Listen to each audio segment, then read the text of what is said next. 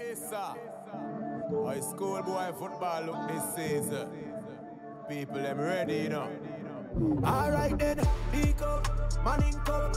Your shield, you make watch the Champions Cup, Ben Francis Walker Cup, which team are we? Yeah, back on the SportsMax Zone on this Friday. They say the best things in life come in threes, and whether that is true or not, it certainly is applicable to the mammoth clash we're expecting for the Issa Da Costa Cup final set for the National Stadium in Kingston, Jamaica on Saturday. Clarendon College and Glenmuir will meet for the third time this season. CC won the first 2-1 in the quarterfinals of the Da Costa Cup, while Glenmuir, in a match for the ages, toppled their rivals 3-2 in the Champions Cup knockout final last week.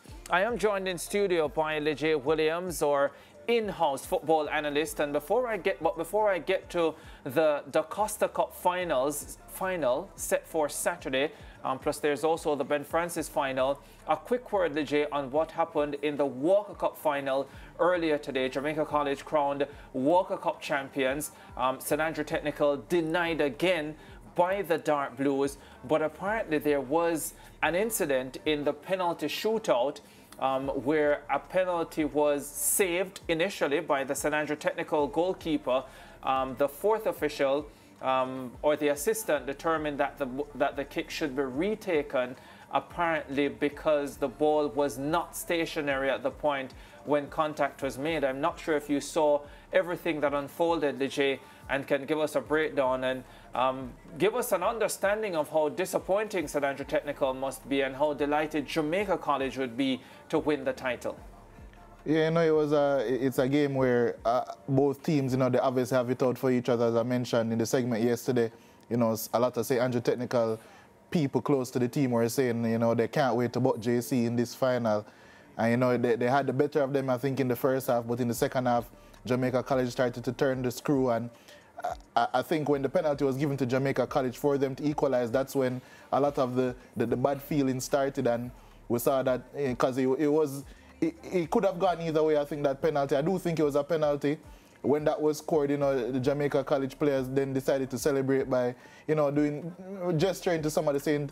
Andrew technical um, fans. And then the penalty shootout, now, as you mentioned, when the penalty was being taken, this would be the, I believe, the seventh penalty for Jamaica College the because of how dug out the penalty spot was, the ball was moving a lot, so a lot of players had to put it either at the back of the penalty spot or at the front of it. This player decided to put it in the middle, and then it moved as he was about to kick it. I'm not quite exactly sure the exact rules regarding that in a penalty shooter, but my understanding is that a, a set piece, any type of set piece, cannot be taken if the ball is not stationary. So I'm assuming one of the assistant referees saw that overturned the save. All may mayhem literally broke loose. Um, and then St. Andrew Technical went on to miss. Uh, Jamaica College scored the retake and St. Andrew Technical went on to miss. And as I mentioned, there was a lot of mayhem from what I was seeing. I couldn't hear what was going on, but just from watching, I realized that Coach Philip Williams also didn't do his post-game interview. So there was a lot of stuff going on um, with the referees, the fans, the, the entirety of the National Stadium looked stunned. So that's something to definitely look out for in the coming days. Yeah, definitely. We will be speaking more about that in detail on Monday. Let's talk about, well, the Manning Cup final comes up this evening as well. That will be Mona taking on Heidel, and what a cracker that is expected to be live on Sportsmax 2. Let's look ahead to the Costa Cup final, though, Leje, which will be on Saturday. Glenmuir versus Clarendon College for the third time this season. How mouth-watering is this one? Well, I think, Ricardo, you, know, you and I called the game um, last week, Saturday, so I think we, we both know how great of an encounter this was, not only from a viewing standpoint, as I mentioned before, I think tactically, this is one of the best schoolboy football games I've ever seen. The man marking all over the pitch, um, all of the tactical nuances straight across from both teams. I think up until that red card, it was completely fascinating and even. And I think even after the red card, Clarendon College continued to threaten. They could have equalized after that hit the post twice, had chances to even make it 3 all at the end. So I think that the game was fantastic, and I think it even sets up an even better game on Saturday because of the adjustments that will have to be made, not only by Clarendon College, who will be missing Nashawn Bolt, but also by Glenmuir. I don't think the Andrew Peart is going to come with the same play style and then want to turn over Clarendon College the same way. So I think we're in line for what is supposed to be a really good game. Yeah, you see a really good game, Leger, and you've been at most of the football matches, if not all. If Clarendon College is to win this match, what will give them the edge? That's a very good question, actually. I think the edge would be their experience, actually, because I think tactically, I'm not going to say that Andrew Peart can get the better of Lenny Hyde consistently, but I think Lenny Hyde is more stuck in his ways in terms of what he wants to accomplish on a football pitch. I think Andrew Peart, you know, being, a, a, as I mentioned, you know, a couple uh, a couple weeks ago at this point, uh, you know, his, his, his mindset, you know, his philosophy, I think is more one of a Eurocentric one, which means you're a, a bit more adaptable in certain instances. So I think that Andrew Peart will come with, you know, not necessarily changing his philosophy, but I think that he'll make adjustments. So I think for Klein, and I think he's just being steadfast in what they are trying to achieve, and I think that that's easy for them. But one thing I do think that really caught up to them in the Champions Cup final is a lack of discipline, especially from their biggest players. We saw Christopher Hull get a yellow card, Malachi Douglas get a yellow card, Devante Hodges get a yellow card, and Nashawn Bolt get a red card, and Nashawn Bolt is a national representative. I, I think that there was a lack of discipline, not, not tactically per se, but I do think that once they realized that Glenmuir was about to give them as good a match as they probably have gotten as a team over the years, you know, uh, and they were a bit maybe a bit complacent coming into the game we saw a lot of um, ill discipline. It wasn't only that, we saw um, Devontae Hodges also sh um, shove away one of the Glenmuir players for a throw in. It was a lot of spurts of indiscipline. So they'll have to keep their emotions in check firstly and then try and execute the game plan because we know that Lenny Hyde is going to come with his usual brilliant self. Any area that Glenmuir will have to improve on quickly come Saturday? Saturday's tomorrow, a few hours. yeah, um, something I'm going to harp on, uh, you know, um, as Ricardo mentioned, the pre-game show, we have this little segment called Keys to the Game. Um, yeah. I'll be touching on three things for each team, but most importantly for Glenmuir, as I'm going to mention, I mentioned it in the first Keys to the Game also, tempo. Tempo is so important for Glenmuir because I want everyone watching to think about it.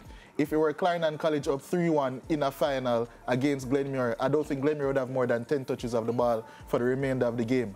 And I know that's what Andrew Peart wants to execute with Glenmuir, but maybe the players haven't quite, quite gotten that grasp yet. We know that Clarendon College has that grasp because we have seen them do it over the years. So I think tempo in terms of slowing the game down, be, you're a man up, you have the ball, control the ball. Too often I saw them try to go for long switches of play, trying to kill off the game, get the fourth goal, which I understand. You're trying to get one up over your rivals, but tempo is going to be extremely important. The, the hero pass isn't always there. Um, I, I, think they have to calm down, and once they calm down, maybe they'll calm down, know that they've won. But once they calm down, I think that that will be the key to this game for Glenmuir. Yeah, quickly, how much more difficult is it though for uh, Glenmuir to, to slow the game down and play at the tempo that you are suggesting against uh, an, an experienced Clarendon College outfit, and not just experienced, but um, they are likely to press Glenmuir as we saw last week, and they have the players capable of doing it as well. Well, I mean, it is difficult because when you're facing a press, press means pressure, so you're going to get a bit rattled. But I think Andrew Peart has the quality and the temperament in his players usually to execute or get out of a press. And what Andrew Peart does is coach a numerical advantage, especially in build-up areas. So there shouldn't be any reason for Glenmuir not to be able to possess the ball. And I was especially alluding to when Clarendon College had 10 men. So there, there should be no reason for Glenmuir not to do it, except for a lack of temperament, and that will lead to the tempo increasing when it doesn't need to. So that's something that we're going to have to look out for in the game, and I'll expound more on it tomorrow. Mm -hmm. Make sure you catch that pre-show. Yeah. yeah. Um, also, Nashawn Bolt, as I understand it, will be out for the remainder of the season. Two matches, which is the remainder of the season, the Costa Cup final, and if Clarendon College win the Olivier Shield.